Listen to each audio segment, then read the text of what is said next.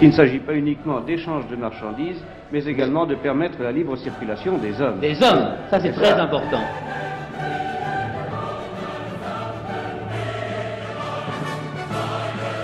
1957 წელს მოეწერა ხელი ხელშეკრულებას, რომლის თანახმადაც შეიქმნა ევროპის ეკონომიკური თანამეგობრობა, ევროკავშირის წინამორბედი ორგანიზაცია, რომელიც 6 ქვეყნის ეკონომიკურ ინტეგრაციას, უფრო კონკრეტულად კი ერთიანი ბაზრისა და საბაჟო კავშირის შექმნას გულისხმობდა. ფრანგული მედია ევროპის ეკონომიკური თანამეგობრობის შექმნის რაციონალს შემდეგნაირად ხსნიდა.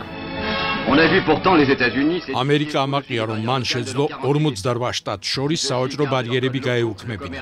მიუხედავად იმისა რომ შტატები ადგილობრივ რეგულაციებს ინარჩუნებენ, ვაჭრობა თავისუფალია, ცხოვრება იოლია. თუმცა საქმე სხვაგვარადაა ევროპაში. თუ ამერიკაში ბიზნესმენ შეუძლია რომ ინდუსტრიული და აგრარული პროდუქცია დიდ ბაზარზე გაყიდოს, ევროპაში იგივე პროდუქცია მთლიანი ბაზრის მხოლოდ მცირე ნაწილამდე აღწევს. სავაჭრო ბარიერები მოხსნილია საბჭოთა კავშირში კავშირშიც. რუსეთს, უკრაინას და სხვა პატარა სახელმწიფოებს შორის ვაჭრობის გაადვილებისა და მოსახლეობის კეთილდღეობის გაუმჯობესების მიზნით. ევროპის ერები, რომლებიც საუკუნის პირველ მესამედამდე მსოფლიოს განაგებდნენ, დღეს პოლიტიკურად წონა დაკარგულები არიან. მათი ეკონომიკური გაერთიანება კი იქნება ის წინაპირობა, რომელიც ევროპას მსოფლიოს ნომერ მესამე ძალად აქცევს. მესამე ძალა მნიშვნელოვან გავლენას იქონიებს გლობალურ პროცესებზე. საერთო ბაზარი მშვიდობასთან ერთად მეტ კეთილდღეობას მოიტანს ხალხებისთვის. ევროპა როგორც მესამე ძალა. ეს იყო ის სტატუსი, რომლის მოპოვებასაც ამ ინტეგრაციით ცდილობდნენ ევროპის ქვეყნები. მას შემდეგ, რაც ამერიკის შეერთებული შტატები და საბჭოთა კავშირი მსოფლიოს ორ მთავარ ძალად მოევლინნენ, ევროპას გარდა გაერთიანებისა ალტერნატივა არ ჰქონდა. ამერიკის ბაზარი 168 მილიონ, ხოლო საბჭოთა კავშირი 200 მილიონ მომხმარებელს მოიცავდა. აშკარა იყო, რომ ომისგან დაზარალებული, ვალებით დამძიმებული კონტინენტური ევროპა, აი მაგალითად 44 მილიონიანი საფრანგეთი ამ ორ გიგანტთან ბალანსის დაცვას სხვა გზით გარდა გაერთიანებისა ვერ მოახერხებდა. იგივე მესეჯები ჟღერდებოდა ამერიკულ მედიაშიც. ამერიკა განვითარებას დიდწილად თავის საზღვრებში თავისუფალ ვაჭრობას უნდა უმადლოდეს. ნულოვანი სავაჭრო ბარიერებითა და ტარიფებით. ამავე უპირატესობით სარგებლობს რუსეთიც. მოახერხებს კი ევროპა მიბაძოს ამერიკასა და რუსეთს და ამოქმედოს შეთანხმება თავისუფალ ვაჭრობაზე. ექვსმა ქვეყანამ უკვე გადადგა პირველი ნაბიჯები ამ მიმართულებით. კერძოდ მათ დადეს შეთანხმება რომში, რომ დააფუძნონ საერთო ევროპული ბაზარი. საფრანგეთი, იტალია, დასავლეთ გერმანია, ბელგია, ჰოლანდია და ლუქსემბურგი. მაქსიმუმ 15 წლის ვადაში შეამცირებენ და საბოლოოდ სრულად გააუქმებენ სავაჭრო ბარიერებს ერთმანეთთან. ხოლო დანარჩენ სამყაროსთან საერთო ტარიფს შემოიღებენ. მათ შეიძლება კიდევ 11 ქვეყანა შეუერთდეს. ერთიანი სავაჭრო ბარიერები გარე სამყაროსათვის, ხოლო დაბალი და შემდგომში უკვე ნულოვანი ტარიფი ევროპის შიდა ბაზარზე. სწორედ ეს უნდა მიღწეულიყო ევროპის ეკონომიკური თანამეგობრობის შექმნით. თუმცა აქ იყო ერთი მაგრამ. თავისუფალი ვაჭრობა ხშირად მოგებულებსა და წაგებულებს წარმოშობს. ის ვინ ძლიერია, უფრო ძლიერდება და იპყრობს ბაზარს, ხოლო სუსტი კიდევ უფრო სუსტდება. შესაბამისად, თავისუფალი ვაჭრობა ხშირად ძლიერის ინტერესშია. ევროპის ეკონომიკური თანამეგობრობის ფარგლებში თავისუფალი ვაჭრობა კი ყველაზე მეტად დასავლეთ გერმანიის წისქვილზე ასხამდა წყალს.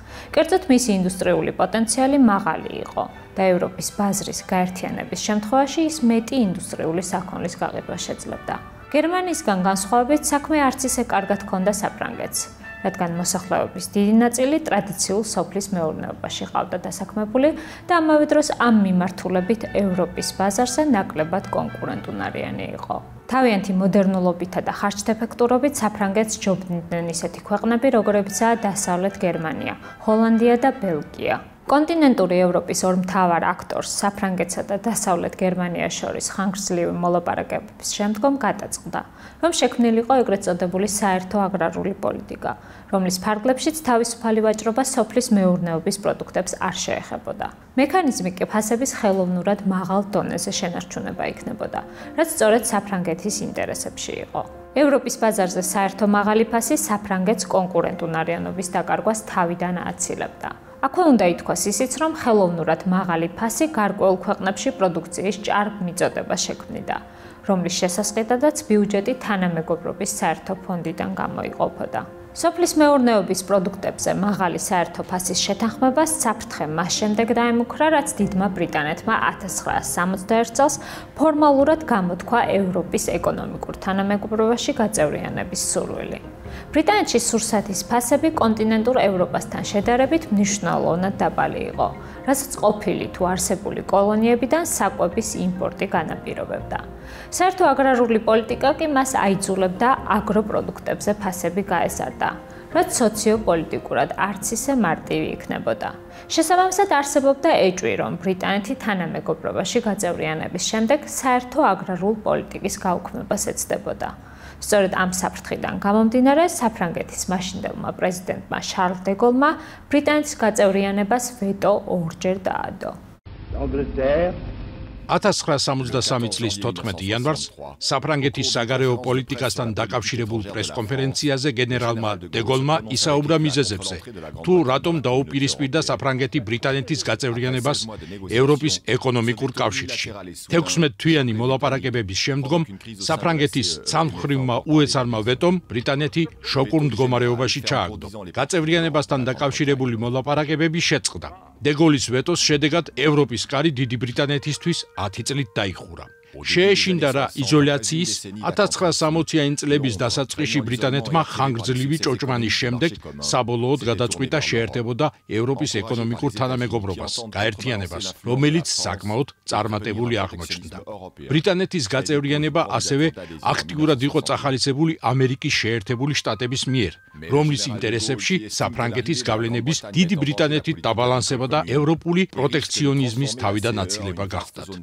თუმცა გენერალი ჟან-ალი დეგოლი შიშობდა, რომ გაერთიანებული სამეფო საფრთხეს საერთო აგრარულ პოლიტიკას შეუქმნიდა და ევროპის ეკონომიკურ თანამეგობრობას ინგლისურენოვანი სამყაროსთვის თავისუფალ სავაჭრო ზონად აქცევდა და მისი გაწევრიანება დაბლოკა.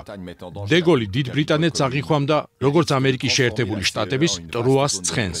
ბრიტანეთის ნაცვლად ის ცდილობდა მჭიდრო თანამშრომლობა ჰქონოდა გერმანიასთან და ამით შეენარჩუნებინა საფრანგეთისთვის დომინანტური პოზიცია ევროპის კონტინენტზე. განაცხადზე. მიუხედავად იმისა, რომ ბრიტანეთმა 1967 წელს ხელმეორედ გააკეთა განაცხადი გაწევრიანებასთან დაკავშირებით, პარიზის წინააღმდეგობამ კვლავ ხელი შეუშალა სტატუს კვოს ცვლილებას.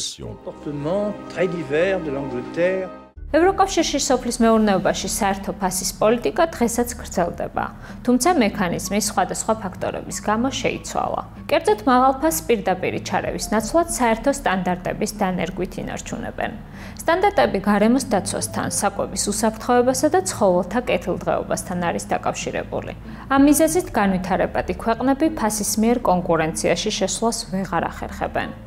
ხოლო რაც შეეხება სტანდარტების დაცვას, ამ ხრივ განვითარებული ქვეყნები უპირატეს მდგომარეობაში არიან, რადგან ისინი დიდი ხანია შესაბამის ინფრასტრუქტურას ფლობენ და ავითარებენ. ასევე რთული ამოცანაა დაეწიო მათ, რადგან ევროკავშირის სტანდარტებს მუდმივად ამაღლებს. ახლა კი კვლავ შესავალს რომ დაუბრუნდეთ. დღეს ევროკავშირში 500 მილიონი ადამიანი ცხოვრობს, ამერიკაში კი 340 მილიონი.